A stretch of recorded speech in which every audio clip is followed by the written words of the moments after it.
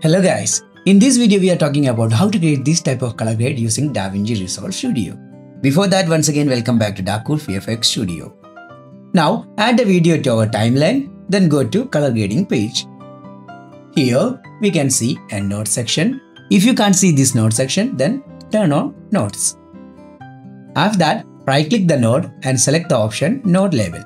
Here we can add a label main, I mean the main node or we can call it the first node. After that, we need to add a serial node. For that, right click here and choose the option add node then add serial. Also you can use the shortcut Alt S or Option S.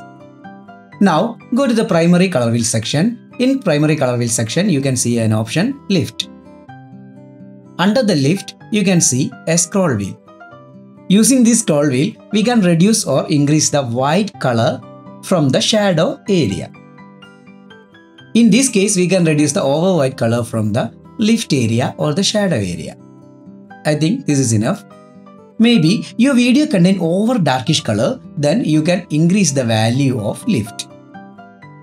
In this video, we can see the white color is over, so we can reduce the lift.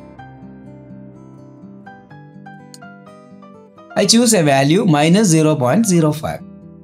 I think this is looking like natural. Now label this lift white. After that I added one more serial node. In this node we can adjust the highlight. In this video we can see a part is over highlighted. So we can go to gain and reduce some gain. A little bit. Add a label to gain white. After that I added one more serial node. In this node we can adjust the highlight. In this case, I reduce some more highlight using this highlight tool. Now it's okay. Now I added one more serial node. In this node we can adjust the saturation. I increase some saturation like this. I think this is good enough.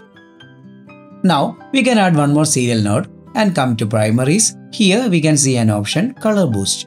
Increase the color boost how much you like. I boosted the color as a value of 40. The color correction is over. Now we can color grade this video. For that I added one more serial node and come to lift then change the value like this in between green and yellow. After that I added one more serial node. In this node I can change the gain to this area in between red and yellow. After that I added one more serial node. In this node I can adjust the offset like this.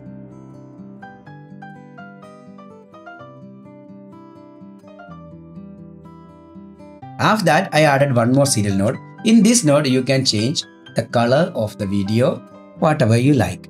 Go to offset. You can change the color like this, this, this and this. Which color you like you can choose that color. I think this color is good for me.